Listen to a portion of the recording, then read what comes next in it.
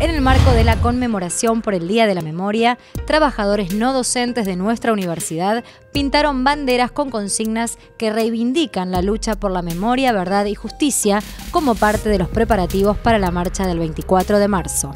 Bueno, buenas tardes. Estamos eh, reunidos con los compañeros eh, con el recordatorio de siempre, que cada 24 de marzo eh, refrescar la memoria con lo que respecta a todo lo, ocurrido en ese entonces, desde 1976 hasta ahora.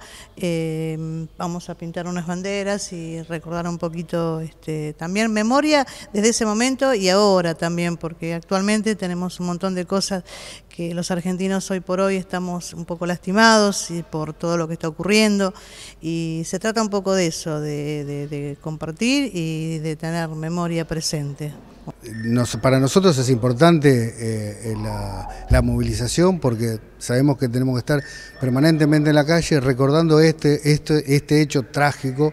eh, en el que, aparte de llevarse la vida de tantos compañeros desaparecidos, también no hay que olvidar, yo lo pongo siempre eh, por delante, la vida de los compañeros, de los soldaditos de, Malvinas, ¿no? que voluntariamente hacían el servicio militar y lo llevaron a combatir en una guerra totalmente irracional.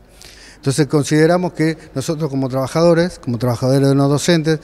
eh, este, tenemos que estar en la calle, formamos parte de la comunidad universitaria y en esta ocasión, eh, como vos podés ver en la, bandera, la firma que lleva es la firma de la comunidad universitaria. Así que nos parece importantísimo esa, la unidad ante, bueno, ante eh, la, intentona de querer